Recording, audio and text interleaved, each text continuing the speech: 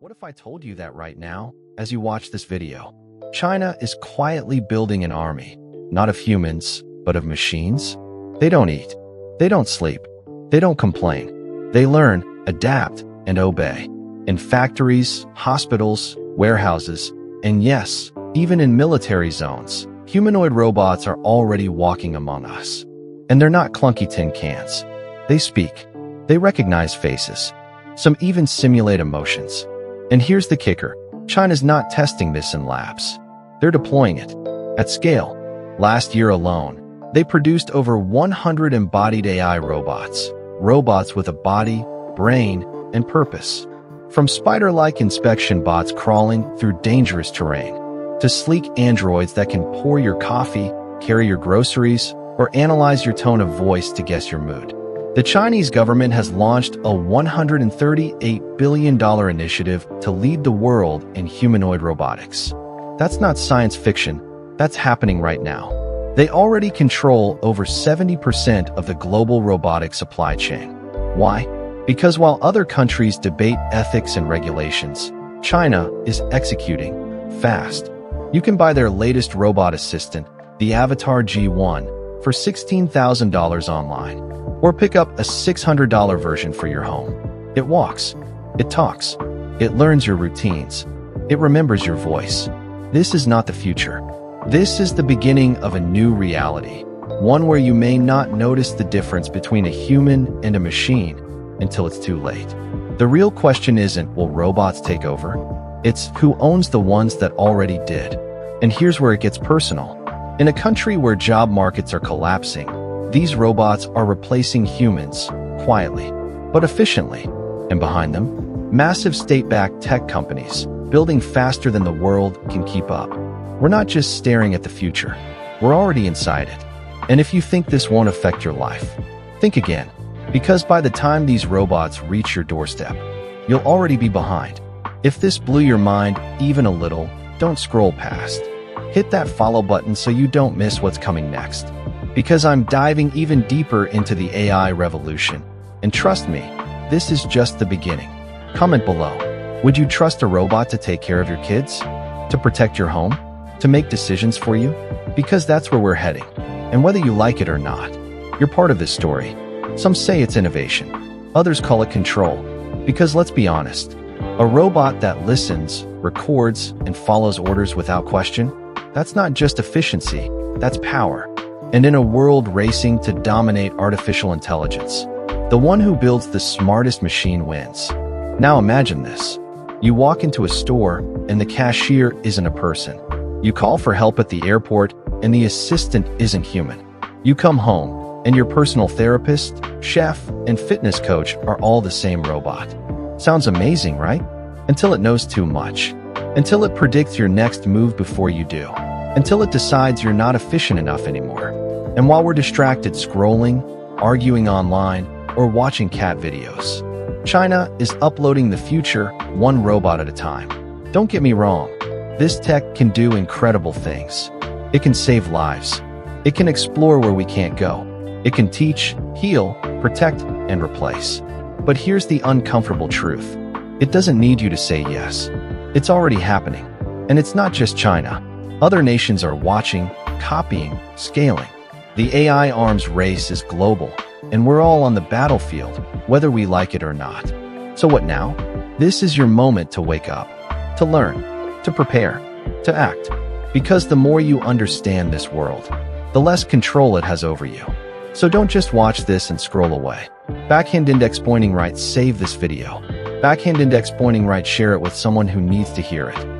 Backhand index pointing right, follow for more real-world breakdowns no one else is showing you. I'll keep digging. You stay sharp. And remember, the future doesn't wait, but it does watch. Let's go deeper. Because behind every mechanical smile, every polished metallic shell, every line of pre-programmed speech, there's something much bigger happening.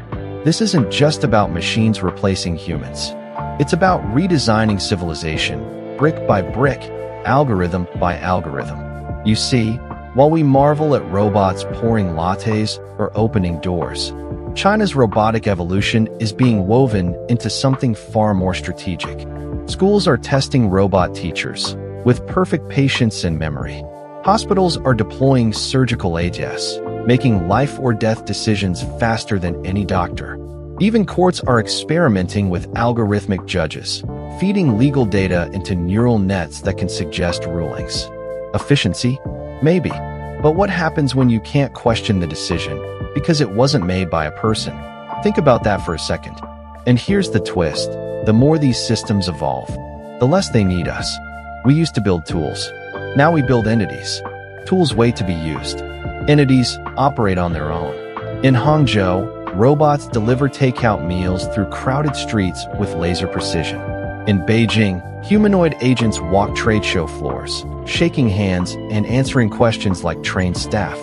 Some companies now interview applicants with robot HR agents.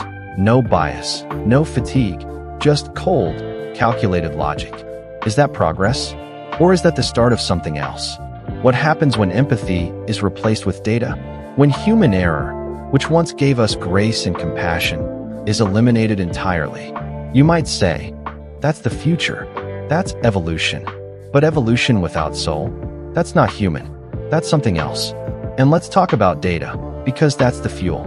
These robots don't just see you. They observe you. They log your patterns. They remember how you speak, how you walk, how you pause before you answer.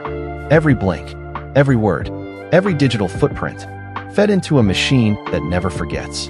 And if the system controls the data and the machine learns from the system, who really has control?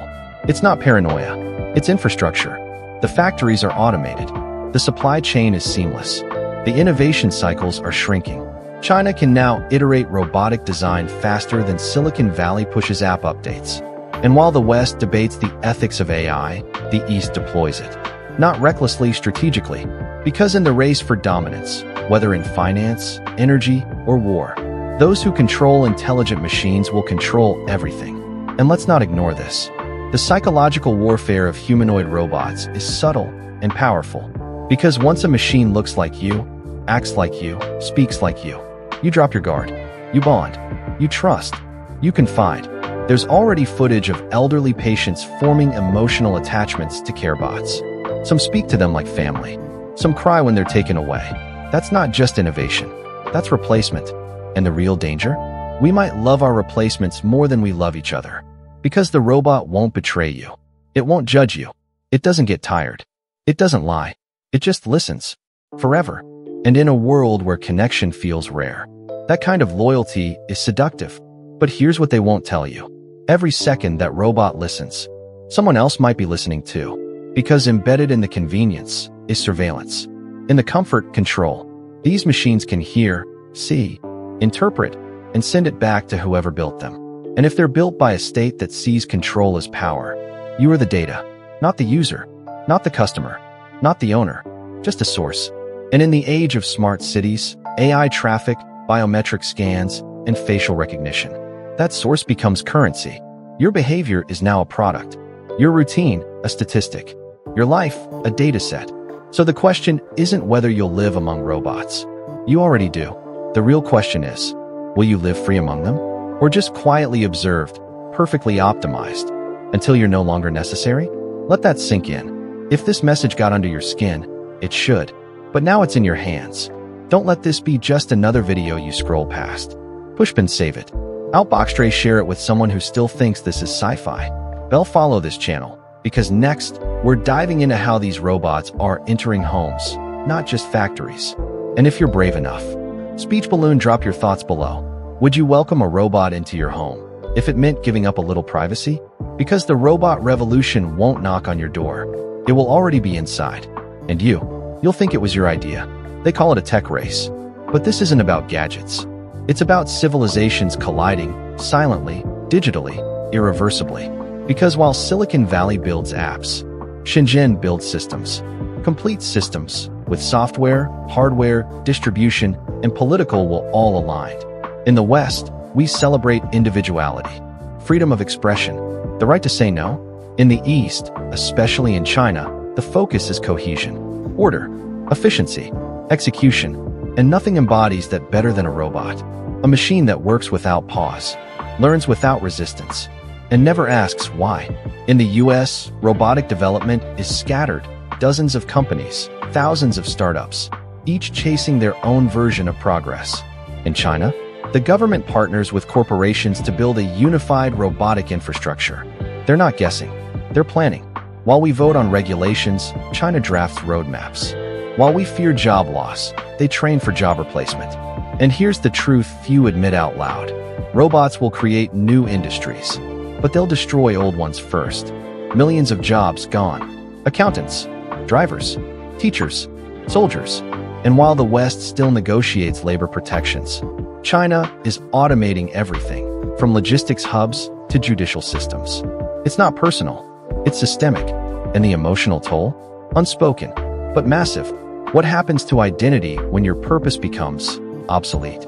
What happens to society when the social ladder breaks? And there's no room at the top or bottom, just one long conveyor belt of optimization? There's something soul-crushing about knowing a machine can outperform you, not in strength, but in empathy.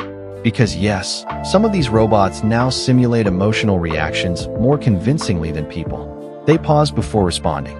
They tilt their heads when listening. They mimic compassion.